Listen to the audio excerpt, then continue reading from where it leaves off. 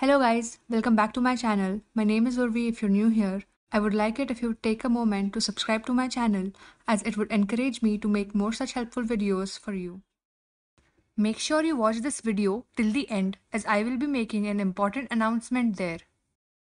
In this video, I will be talking about the different font styles, alignment, Canva, and certain other useful tricks that can be handy while making your slides. You can check part 1 and part 2 of this series from the link on your screen. If you want to highlight a point, use bold as it makes the text stand out. Use regular or baseline text in your body. Italic has the reverse function of bold. You don't have to scan a slide to look for a text in bold. But to see italic, you need to scan the slide. For example, here are three words written in italic. Since italic is slightly less important, we use it for footnotes. Now, moving on to alignment. In a Word document, we generally prefer to justify the alignment of our text, but in PowerPoint, it creates unnecessary space between letters and makes the text hard to read. So either align to the left or the center.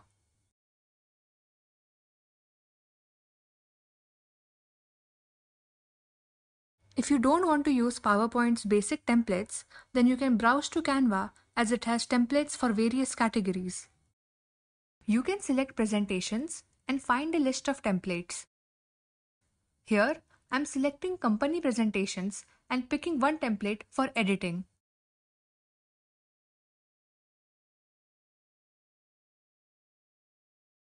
After you're satisfied with your slide, you can check how it will look while presenting.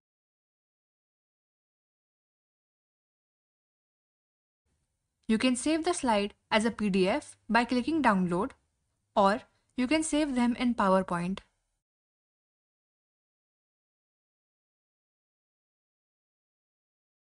I will now be talking about certain useful tricks that you can count on. This first trick is used to make sure that two or more objects are at the same level in a slide. To do this, I move the first vector image and a smart guideline appears which allows me to match the level of the second vector image. I would encourage you to use different text box instead of putting everything in the main body. For example, in this slide, the first vector image is only related to the first line in my main body. So I would cut that line and add it to a new text box and arrange it below the image to make it clear.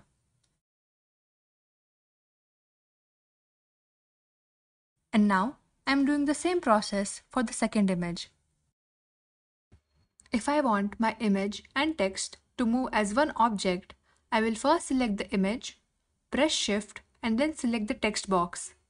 Now I will right click on it and find the group option. This will let me move both of them together. In this slide, I want to insert the vector image inside the circle.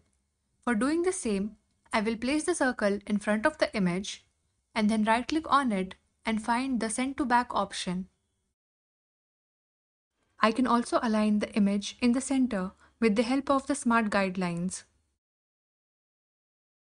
Finally, to make sure that the circle and the image move together, I will group them. If you want to align any text in the middle of the slide, you can first select the text, go to the Arrange option, and then go to Align and select Middle.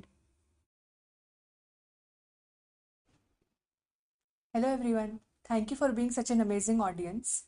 I want to share that I'm soon starting a course on designing presentations on YouTube itself. I hope you appreciate it as much as you appreciated my previous videos. If you like this video, don't forget to share it and press the bell icon so that you don't miss any related videos from this series.